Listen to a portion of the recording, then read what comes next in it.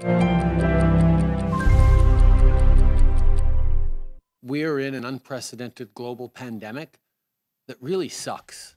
Canadian Prime Minister Justin Trudeau's blunt assessment of the global health crisis came on Tuesday as Canada approaches 10,000 deaths from COVID 19. And with cases continuing to rise, Trudeau predicts a tough winter ahead with more lockdown restrictions needed. It's easy for us to want to throw up our hands. I think we have to ask ourselves who we really are as Canadians. Are we really good neighbors? Are we really people who care about the most vulnerable, about each other?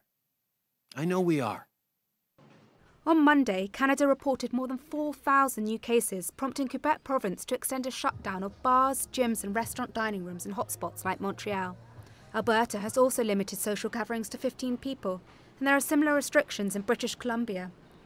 Trudeau made clear the measures could last until Christmas and said his son feared they would last forever.